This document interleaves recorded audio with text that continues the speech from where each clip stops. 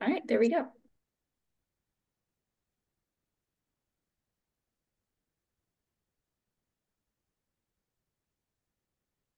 All right. Um, yeah, as Rebecca said, thank you all very much for joining us. Um, we're excited to go over the um, some of the main results um, and our um, like mapping outcomes from our wayfinding amenities and interpretation studies that we've had going on this year. So um, I know a lot of people on the call have been involved in some way or another. So um, thank you very much um, for everybody's uh, input and help um, over this year. And yeah, we're um, excited to share everything with you. So to start off, um, we have the uh, we're in a Zoom webinar format, of course, so it's a little bit different um, there's a Q&A and a chat function. Um, if you don't mind putting your name and affiliations into the chat, um, we'll be able to save that and uh, you guys can see who else is on and we'll be able to look back and see who is on. And then if you have questions at any time throughout the webinar, please put that in the Q&A section. It's easier for us to monitor that and keep track of questions than um, they can get uh, more easily lost in the chat. So we're going to start off with a little bit of background on NVRC. I think a lot of folks on the call are familiar with us, but for those who aren't, we're just going to do a really quick overview about um, who we are and some of the previous studies that NVRC has worked on. Um, and then we're going to do an overview of our all of the processes that went into the wayfinding and amenities study um, over 2024. And Jill will then give a presentation of our new interactive maps. And then we'll do just a couple minutes on some of our takeaways from the process. All right, and um, I do see a few mentioned in the chat that, or in the Q&A that the chat has been disabled. So um, I will work on that in a second, but um, just to give a little bit of background first on um, NVRC, if you want to go back one, Linnea. Oh, sure. Sorry. Yeah, no problem.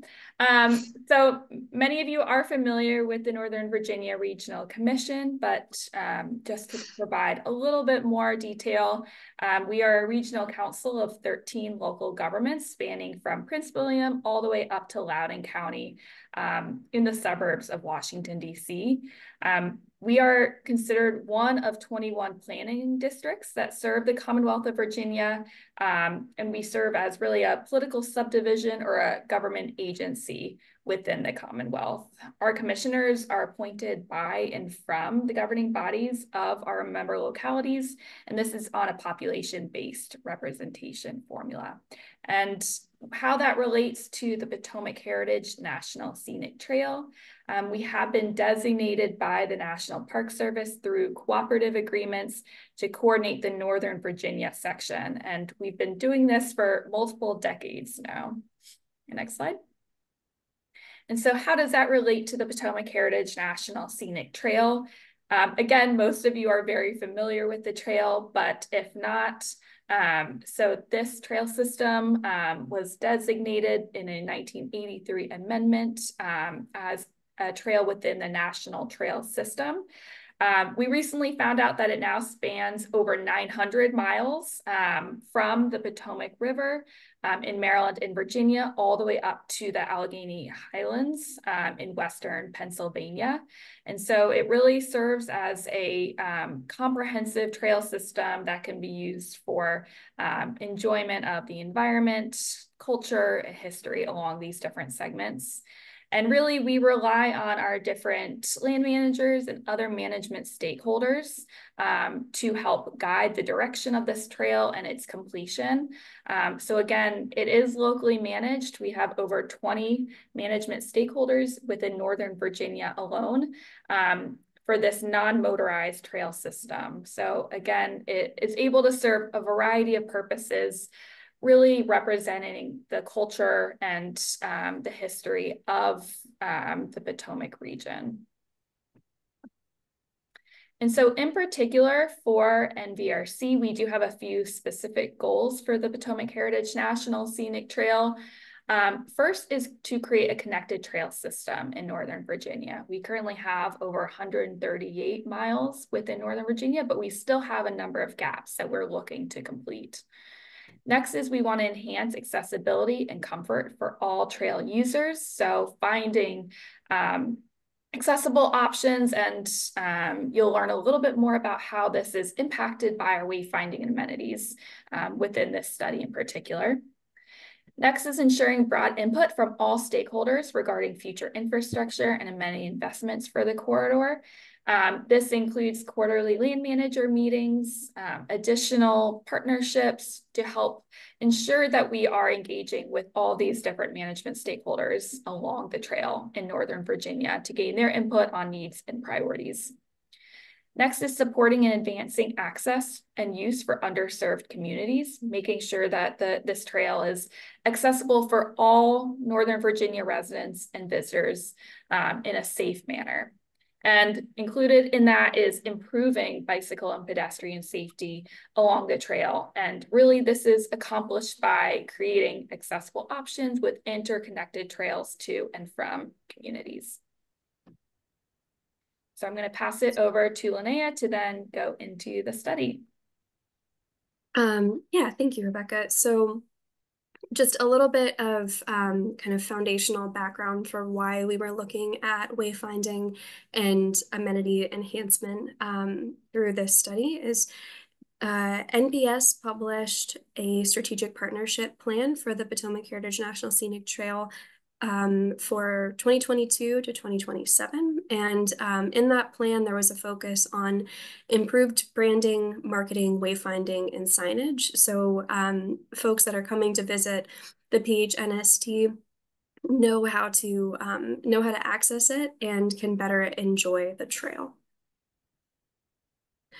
And um, we also conducted a study in 2022, um, and it was, yeah, this uh, health, social equity, and economic impact study. There's a QR code and a link here in the presentation.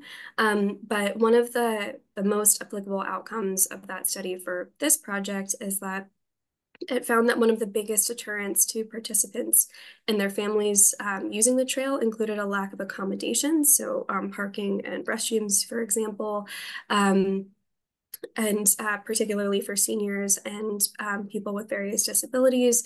Um, there's a lack of online information and a lack of wayfinding signage along the trail. So improvements to our wayfinding amenities and um, interpretive signage is really key to help get more people out on the trail and have them feel comfortable on the trail. Um, and this study also revealed gaps in access points along the trail and moderately high and high socially vulnerable census tracts and um, improved pedestrian and bike infrastructure in the greater trail corridor would encourage additional use by residents. So um, this, as I said, this study really kind of helped pave the way for um, our 2024 work.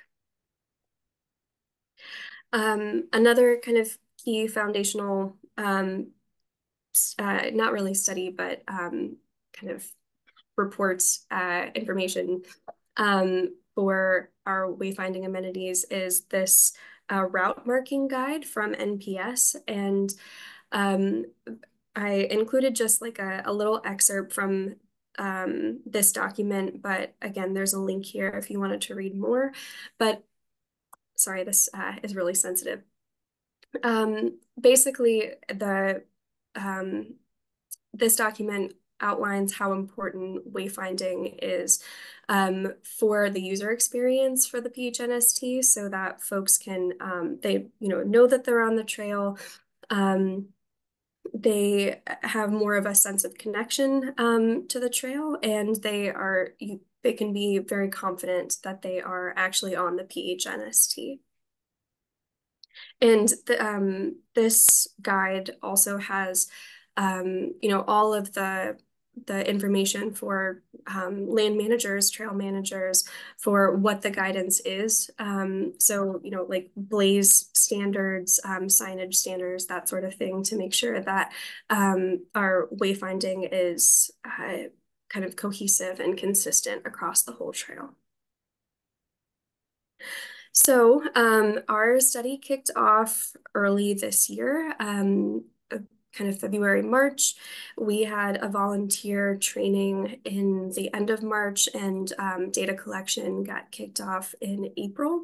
So we had about 20 volunteers that helped us collect data across the whole PHNST in Northern Virginia. Um, and during the, the training, we kind of went through some of the background of the work that we're doing, um, why we're doing it, and how to collect the field data. So um, our colleague Jill put together a survey um, using survey 123. And so we trained the volunteers on how to, to use that.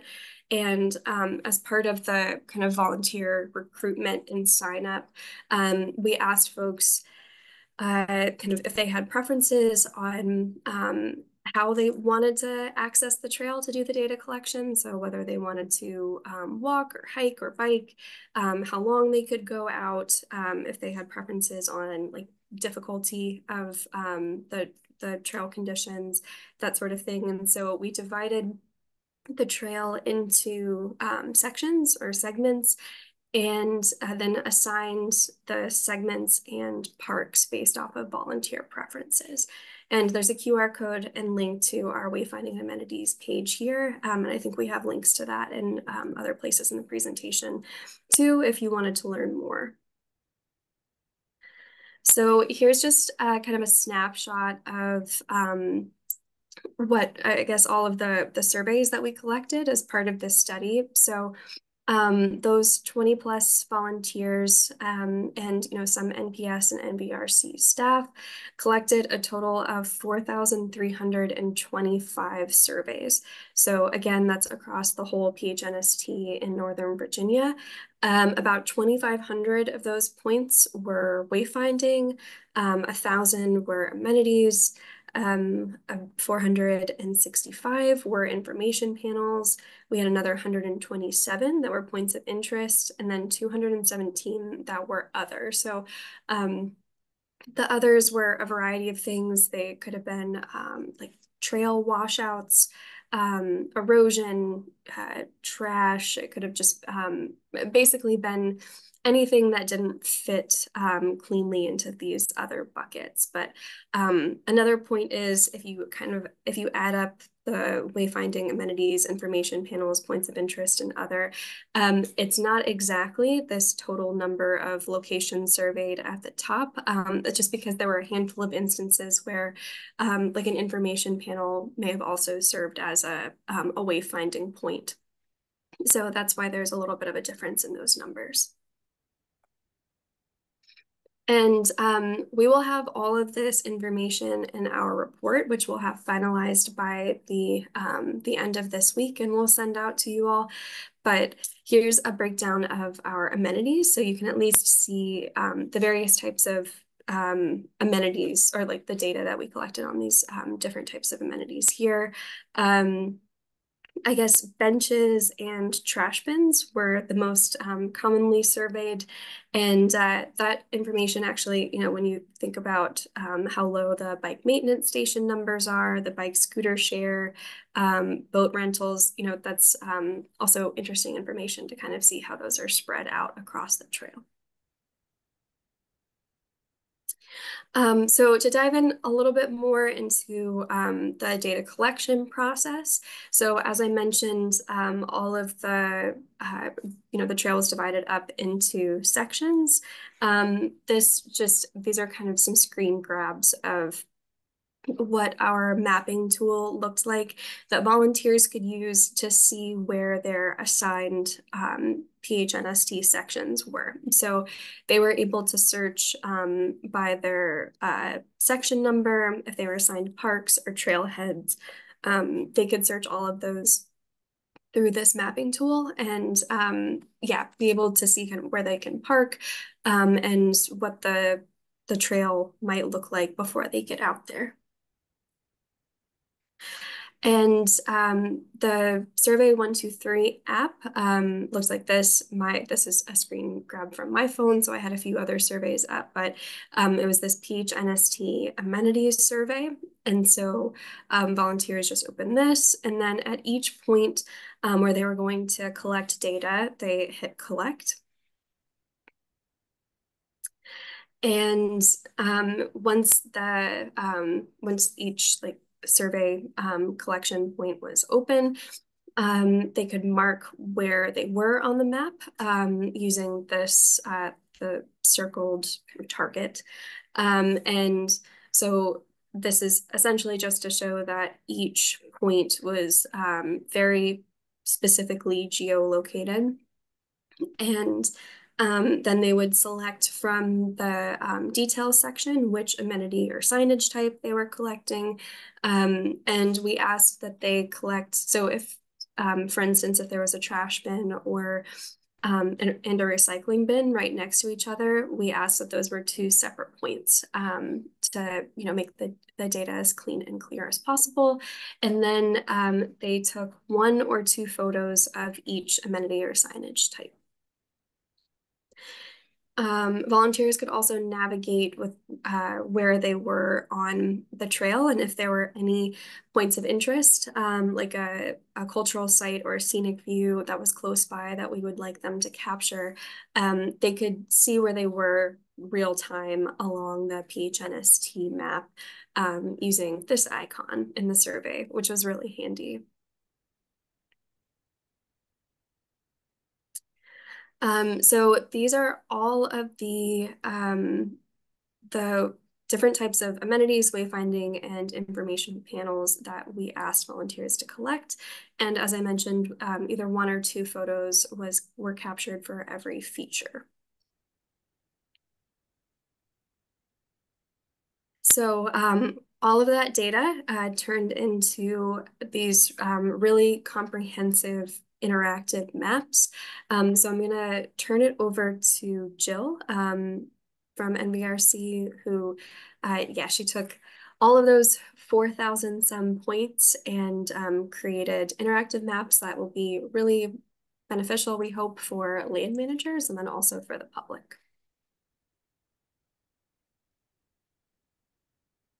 All right.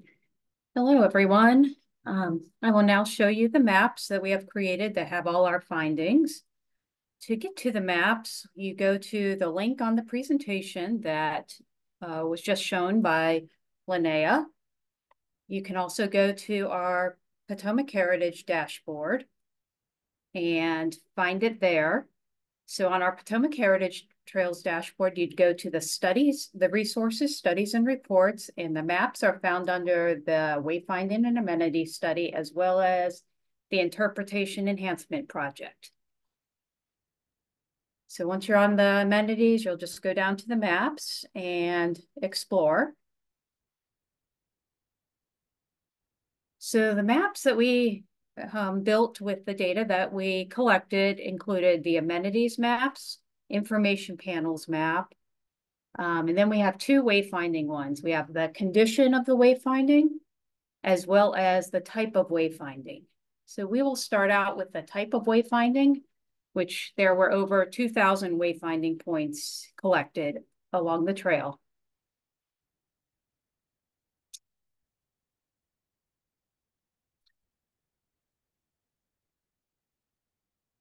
So uh, what you're seeing here is all the wayfinding that is available along the trail. Um, we had we collected it in uh, for certain types. We have the logos, which are the diamonds, the bike signs for the PHNST, the maps, um, as well as the directional signage, information panels, and the blue. So most common would be the blue bla blaze uh, that are along the trail.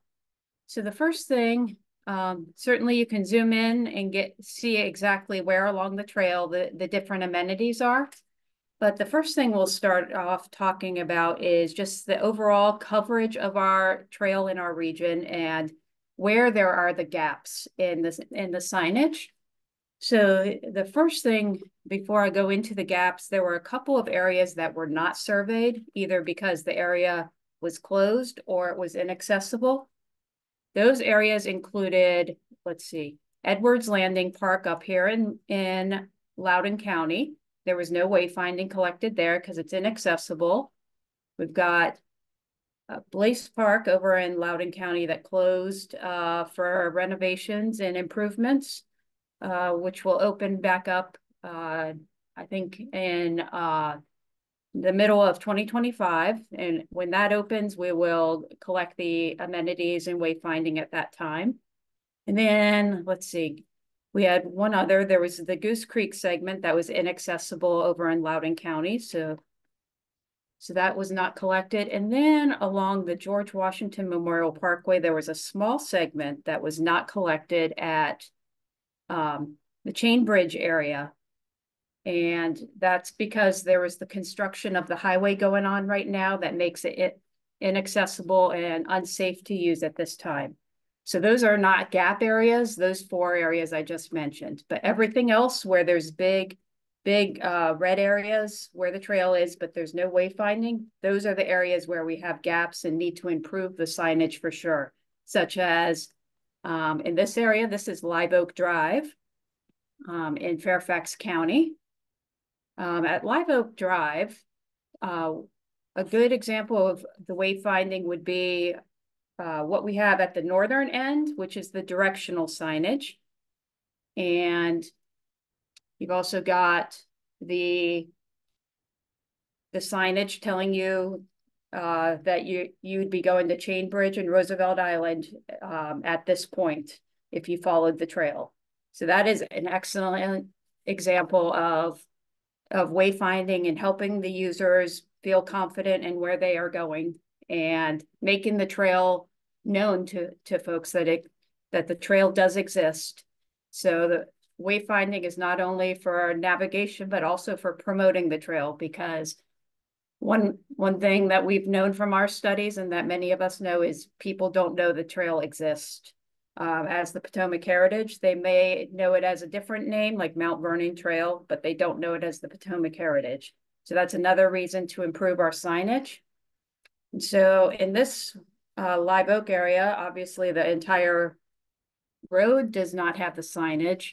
But then even what's lacking also is the directional signage from parks such as Scotts Run, as you can see from these results.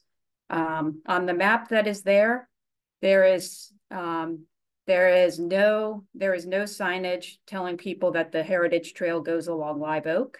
So that's an area certainly where there is a lack of signage that need that needs improvement for the future um, to guide to guide people. And another area um, where there is gaps that you will see from looking at the big picture would be, you see how there is a huge amount up here on the northern end of the county, of the region, but down from the Theodore Roosevelt Island all the way down to Occoquan, there is really a lack of signage. So that's an area that we need to concentrate on as as a region, um, NPS, NVRC, and the ma land managers to really improve these sections of signage. So that was definitely a, a huge gap that we found uh, based on this study. Um, what you are also seeing for gaps would be, let's see, we covered live oak. Um, we've also got in Fairfax County, like I said, um, these areas as well. So this is Mount Vernon Highway. This is Route 1, and this is Lorton Road and Route 123, where we have very few signs. We do have some of the bike Potomac Heritage signs, which are which are these. And since this is mainly a bike route, more of these types of signs for the bikes with for Potomac Heritage Trail would be really nice to have along all of these sections that are shown here. And let's see, next would be like um, another gap would be down in Prince William County that we saw is from the um, Woodbridge VRE along this existing trail over to Veter Veterans Park. So through the National Wildlife Refuge, the Occoquan National Wildlife Refuge, that is, there's no signage. There's also no signage through from the VRE through Belmont Bay and down. Now, where there's also no signage, um, which is understandable for sure, is places where there's there's gaps in the trail network, um, such as um, down here at um, Leesylvania, at not Leesylvania, at Locust Shade Park. We've only got a few signs, but we don't have the blazes yet. And that's because main that's likely because the land manager has decided not to promote the trail in areas like this because it's not connected to the greater network yet. But once the greater network is completed, that that's an opportunity where they will likely improve at that at that point in time. That's also the case up in Loudoun County, uh, where there's no signage right now along areas where they're not connected to the greater network. Like this is a road that the Potomac Heritage Trail follows, but again, there's gaps, so there's no reason to really promote it at this time until the gaps are finished. So that's also what you'll notice from these findings. And let's see, one other area to point out where there's gaps for sure in, in the signage would be over in Prince William Forest Park. You've got it all along this portion of the trail, uh, but there's also the biking portion that is a braided part of the braided trail network where this area would be a perfect opportunity of where we could put the the um, the bike PHNST sign since this is a bikeable route, and this is not pedestrian friendly, this area. But a good, another great example of um, places that have the opportunity to really be improved. Um, and another thing to point out also is uh, there are a lot of opportunities for easily uh, adding the signs in these gap areas because of other infrastructure that already exists. And what you can see on our maps is if you go to our layers, we've got all these layers you can turn on and off. What we have here is the other wayfinding and information panels that exist along the trail that are not Potomac Heritage um, National Scenic Trail signs, but there are other infrastructure signs that could be utilized um, to promote the trail. Like you see here, how all these light green those light green are all the other infrastructure and panel signs that, that are along the trail. So you could easily put signage like the logo on, on some of these signs that exist to, to fix the gaps along these trails. So that's not so hard to do. And all you have to do is uh, put the logo um, on the existing sign panel along these stretches. And that's the same case along like Route 1, you got a lot of bike signs. Like this one is just purely a bike sign, but you could easily add the Potomac Heritage Trail um, bike sign to a place like that. So again, all of these things, you can go in and look at the ones that are of interest to you. Next, we will talk about wayfinding at the trail junctions, because that's an important place where um, a lot of our volunteers um, and our trail users get confused. And it, so it's an important place to really have our wayfinding uh, really strong and um, in place. And so there were a few great examples in the region where where that was. And so we'll go to places like Meadowood, where in Meadowood, at the trail junctions, such as over here, you've got this trail junction here with this trail branching off. And when you look at their signage, which is the definitely the gold standard for um, the Potomac Heritage Trail signage in the region, they've done an extensive job of it. And it's tremendous job at Meadowood for guiding people on the trails. So you'll see here, you've got the Potomac Heritage Trail logo as well as the directional sign amidst all the other all the other trails at the junction. So this is very useful for the trail user to find their, their way easily.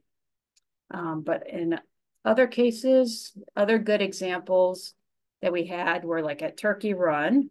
Um, I'll go up there. And there's so many great examples, uh, but can't go, don't want to go through um, too many of them in the interest of time, but just wanted to give you examples. Um, over at Turkey Run, you've got things like um, all these directional signs at the, let's see,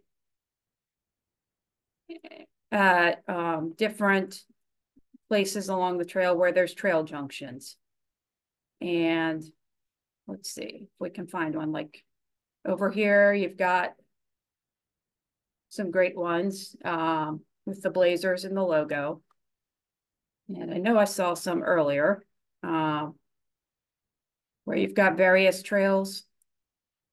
Um, but again, the point being that you want to make sure that uh, at all the trail junctions where trails branch off, like in here, that you've got um, your directions at those trail junctions and not just blue blazers. Um, because there is a lot of confusion. So an example where there was a lack of signage for the directions was like over at Algonkian Park. You have this trail here. I don't know if you can see it, but this trail, that's the Potomac Heritage, also continues um, in this direction, but it turns and goes left here if you're going um, if you're going north, but there was, as you can see, there was no directional signage here to let people know that it was a turn. So that's an example of where uh, from these findings, you can tell that we need to improve the directional signage at points like this where you've got major turns that otherwise somebody would have gone gone straight and would definitely would not have known at that point to go that way. And just one other example of where the directional was lacking I have an example up at Balls Bluff in Loudoun County, where you've got you've got major trail intersections, like right here, where you've got many different trails going in all directions. And you had directional signage for like two trails, but only the Potomac Heritage was a logo. There's no mention of it on the sign. So having all trails on a sign would be the ideal way of doing things, but also having the directional signs um, in all directions. So if you're going one way on the trail, you know where to go versus if you're going the opposite direction, you also would know where to go. But that's not the case around here where it's very confusing at a major intersection like that with many trails. Let's see, next we'll talk about the trailhead parking areas. That's another area where we really as a region should really strive to promote um, the trail and improve the signage. That should be our one of our highest priorities, if not the highest priority, is is to put um, the signage of the logos, directions, as well as the information panels to promote the trails where people are parking. Um, so the fact that people don't know that the trail exists in our region, especially when they're parking at our major parks and all. That's a that's a telltale sign of the fact that the signage is lacking. So we'll look at that um, briefly. So I'm gonna, um, I'll turn on the trailheads and I'll turn off like the, the blazers so you can see more, more so um, get a better picture of where the non non-blaze signage is um, versus the parking lots. So let's see, like up here, like you see that we've got a we've got a logo at this parking lot and we've got the signage up here. But in many cases, like here, you've got the you've got a logo, but um, but there's no information panel. So a logo um, tends to not be enough to get people to know that the, that a trail exists. So at places like this, we should really make um, the trail more prominent um, by having information panels, flyers, and maps, and not just the logo. And you'll see like, let's see, let's go further down and see how it is at the various parking lots. So you have like these parking lots here with an information panel. So that's a that's great. This is a great example of um, what, what we should strive for as a region is at the trailheads where you've got the Potomac Heritage advertised and you also have a map. So this is Riverbend Park. So this is, this is a fabulous example of, of wayfinding that we can strive for at other places along the trail. So like down here, there's no wayfinding at all for the for the prominent things like the logos, information panels. And so if you scroll through the map, you'll see all those different places where the, the signage is certainly lacking versus um, existing at places like Riverbend. But again, my point being that we should really focus on those areas uh, at first to be sure those are um, really well promoted. It, um, so that this uh, trail can become an economic engine for our region as well as very accessible to all the community members and residents. Um, so, so that's an overview of that, the type. I'm going to now turn to doing the conditions where we know we have to improve things. And for the existing stuff that is out there on the trails, a lot of um, the things that need improved would be, for instance, the blazes. And the blazes, um, some of them are very old uh, that were probably put in decades ago and they're the, not the standard color anymore. They're not the standard blue that we are seeking. So in places like Algonkian Park, that was a great example of the standard blue, where if you go in here and just click, um, and you'll see the standard blue that's supposed to be on all the all the trees. That's the standard in the guidelines that the National Park Service um, has published for all of us to follow. So places, there's several sections, especially Seneca Regional Park that need improved because they've got the wrong color blue. That is not the standard. So when you have the wrong color shade of blue, that certainly confuses people. Um, so if we are to brand this trail in a consistent manner, places like this are places that will need uh, volunteers to go out and do the do the blazes.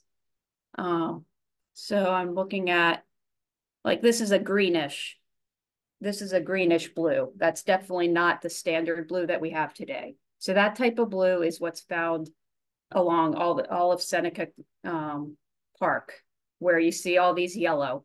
And to clarify, the yellow are the fair condition. And I should have mentioned that earlier. Sorry about that. The fair are the um, yellow and the green is the good good ones and the poor ones are the red. Um, so the poor ones would be things like uh, just faded signage or faded bla blazes um, for the most part. Um, so it's important when we do the phase two study with the consultant, they will look to see are any of those uh, poor ones in locations that are should be very prominent to the trail users so that they don't lose their um, navigation, go the wrong direction or something? Are they at trail junctions or something? So if they're not at trail junctions and they're in between other ones, it's not so not so critical to fix it at this time. But again, if it's at a junction, it would be critical to fix it. And if you wanted to see like all the um, like say all the poor ones in, in our region, you can filter using this tool that we have. You can filter by the land manager. So you can know as a land manager, any of your places that need improved based on these findings, or you can just simply do like the poor condition. And that will now highlight all the poor area, uh, areas of signage along the trail. So there's quite a number of them. Um, but again, a lot of these are bla blazes. So you can say like, if you did not, if you just wanted to know like the poor directional signages, you can filter to that as well. Um, so that it doesn't show just all the blazes.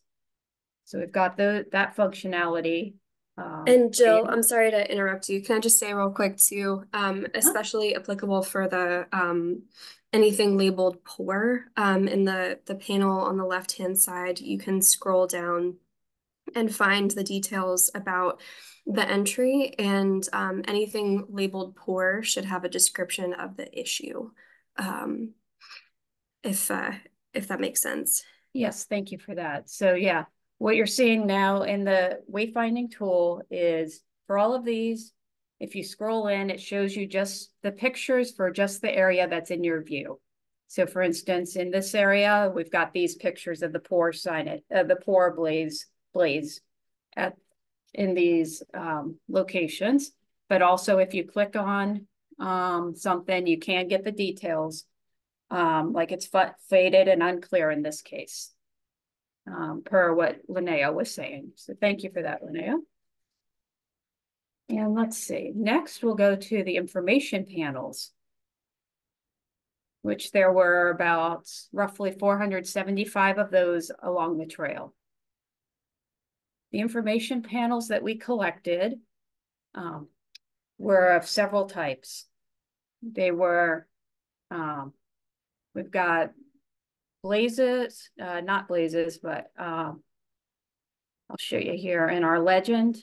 We've got the condition. So we um, symbolized it with good, fair, or poor condition for the information panels so that you all know which ones are in need of improvement that we could um, prioritize for the future. And for filtering, we've got that as well. Um, so if you wanted to find like all the cultural and historical signs that are along the trail, if somebody was interested and wanted to just see um, where all of those were located, as well as to know what history is being told along the trail, you can tell that by just filtering. So without filtering, like we said, we have 465.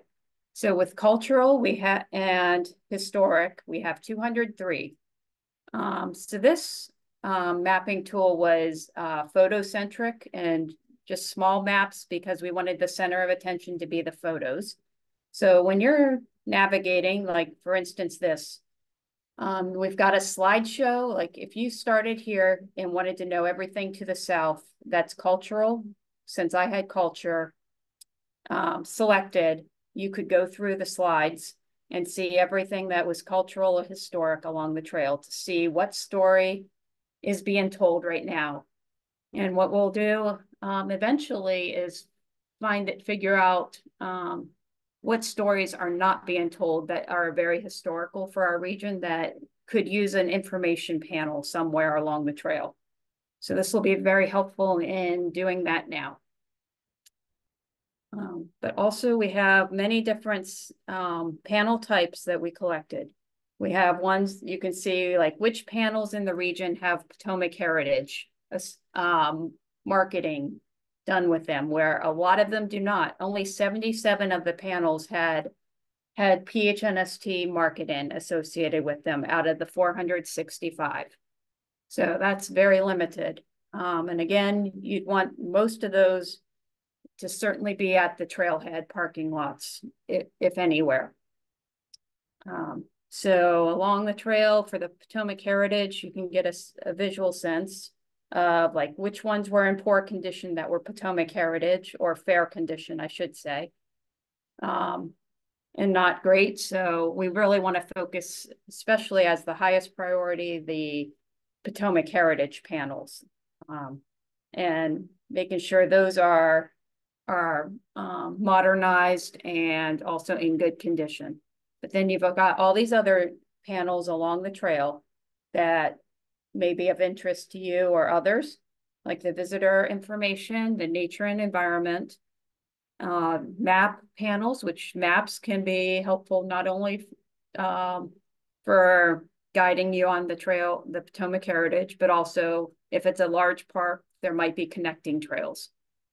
Um, so we've got all that different information as well as, um, again, you can search by the land manager and know if uh, your your um, panels are in good or poor condition using this tool. And finally, the amenities. And Jill, just to give you a time check, it is 1145. Yeah, so I want to thank you. I wanted to just go through this quickly so we have time for questions and answers. But on the amenities, this is uh, something that um, the trail users had mentioned they wanted to know better and have the information for so that their trail experience um, would be better and so that they could plan for their experience and their time out and out on the trails. Um, also to feel more confident um, in what they um, would experience and knowing um, what the user experience would be was very important to a lot of people. So we collected this information and um, we've noted uh, again if it's which management owns the amenities and manages the amenity as well as the conditions of the amenities. And then we have all the types. So if you wanted to see specific types, like where are all the restrooms along the trail and is it, are they, um, are they, are there any gaps where we should have more restrooms or, or one of the other amenity types? This, this tool can help us decide that uh, as a region. Um, so we've got, it's great to have all this now, especially for the users, and it's in this tool, the amenities are. And over the, um, by December, all the amenities will also be added to our Potomac Heritage um, maps that are on our dashboard um, for the visitor experience and the trail characteristics. So all of these will be transferred over uh, to those existing products um, here in the next month or two. So so that's everything I have. So I'll stop sharing and we will take questions. Since we've got 12 minutes for questions. And I think Lene had a, a, few more slides to share before we do so, but please feel free okay, to put any questions you. into the Q&A box and we can answer them afterwards.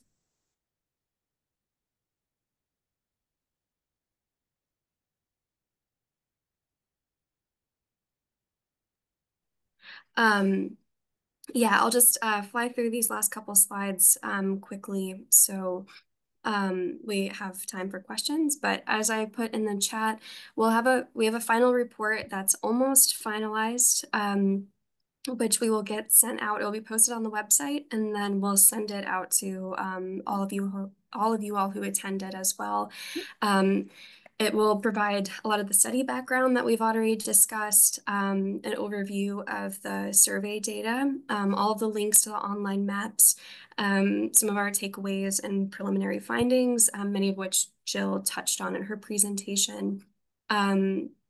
We have some information on like next steps and then um, we'll have various appendices and one of them that I think is really helpful is our feedback from volunteers. Um, so both in the comments for the various surveys and then um, via email, volunteers provided uh, a lot of um, really excellent feedback.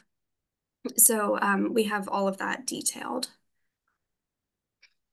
And uh, I'll just say really quickly, we focused um, on the wayfinding and amenities piece. Um, Jill also showed the maps of um, the interpretive panels that we have, but we had separate funding um, from the National Park Foundation to do interpretive enhancement. So um, we've worked with various groups um, to, to collect a variety of resources on um, kind of where there are gaps in signage, um, and the maps are really helpful for that. And um, we got feedback from various groups on kind of what sort of information or stories they felt had been left out of exist existing signage. Um, and through that process, we developed um, five signs um, that will be replaced hopefully in the coming months. I guess three of them are brand new. Um, there'll be two at Occoquan and one at Leesylvania.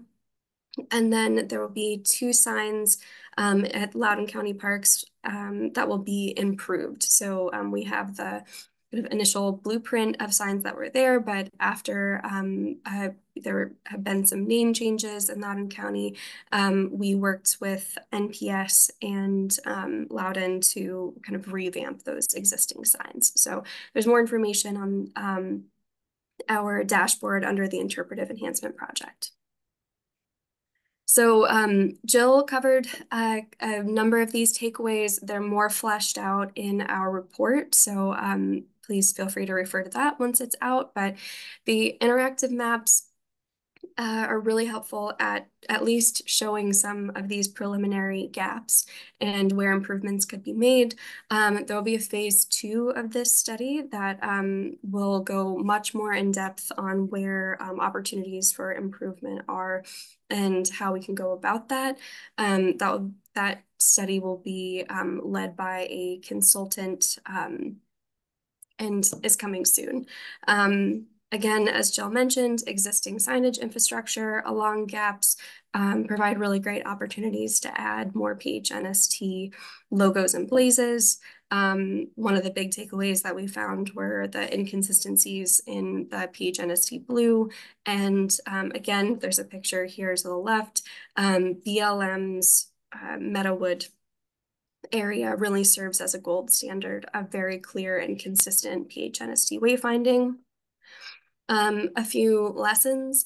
Uh, we so we conducted the um, surveys from April until uh, really the beginning of October, um, which was a wider uh, time frame than we had initially expected. So um, for anyone going through this process, um, definitely take uh, the potential for volunteer dropout um, throughout the, the study process into account when you're um, working out timelines. Um, I saw uh, looking through the participants today that there were a number of volunteers um, who tuned in today, and thank you so much. Um, the volunteers who uh, were able to make it out did an incredible amount of work. Um, some of them spent multiple days, at least um, everybody spent at least half a day out there. So we really appreciate that. Um, we found that iterative data review and cleaning is really helpful. Um, so as the surveys were coming in, over this year, um, I did an initial uh, like quality control check of all of them, um, and that helped make it so you know even um, you know there was still kind of a crunch time leading up to the webinar and the report to do final cleaning, but um, doing it along the way uh, kept us from having to go through all 4,000 points within a very short period of time. So doing that iteratively um, helps with time management, but then also catching um, if there's any confusion um, and kind of mis uh, uh, categorizing of um, different types of amenities or signage uh, that could be addressed um, while volunteers were still going out. Um, and uh, just another quick thing, there were, you know, we found some confusion um, or like inconsistencies in the way that um, some of our, our data categories were interpreted. Um, and so uh, trying to make um, make it as clear as possible, um, adding information um, into the surveys that volunteers could go back to, uh, like as reminders or clarification, I think would be um, a, a, helpful change in the future. Um, we recently developed this uh, brochure um, about different uh, like kind of natural points of interest along the PHNST in Northern Virginia. This is available online if you're interested. And um, all of the information that we've covered today is available on our dashboard, um, the QR code, and the link is here. Um, we'll send out this presentation afterwards and um, all of these resources, um, the link should be available for you to reference. Okay, I think that's everything. Um, please feel free to, to jump in with questions.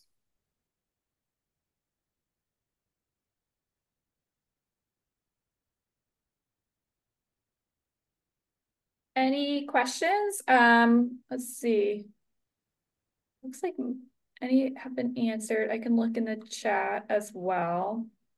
Um, I think one thing that, you know, we would also love to hear from you all that are listening in is if there's anything else that you would also like to see within this interpretation plan. So um, feel free to put that in the chat um, I think you're also able to um, raise your hand and we can take you off mute if there's anything else um, you're curious about um, seeing in there, um, or any additional comments that you have or remarks from this. But uh, again, we hope everybody will take some time to go through this wonderful maps that Jill created because there's a lot of really useful information for our land managers in there. Um, looks like we have a hand up from Thomas. So I'm going to allow you to talk, Thomas. There we go. You should be able to come off mute. Hello. Thank you for all your hard work. Um, my, my question is though too, is what is the best way? Um, so through going through the, the map and going and looking at different ones, um, to, uh, when we're updating this, what is the, is there a certain portal or a, a way of like a, you know contacting a certain individual or whatnot that's best to like help update this map and keep it current Yes, I can answer that, Tom. I, I would be the main point of contact for everybody who manages the trail and main, does the maintenance, um, such as yourself, uh, to provide me with the updated data as things are improved over time certainly uh, that's uh, what, what we would aim to do is uh, to keep track of everything that's been improved since this study has been is um, done so that we can see over time uh, how much progress we are, we are making as a region. Okay, perfect. Thank you. Thank you. Any additional questions? And we'll be sending out this presentation as well as the slides and all of the resources afterwards. So um, as you're taking a look through it, if any additional questions do come up, definitely feel free to email any of us as well. Maybe we'll give it like 20 more seconds and then uh, we can close out though. But thank you all again.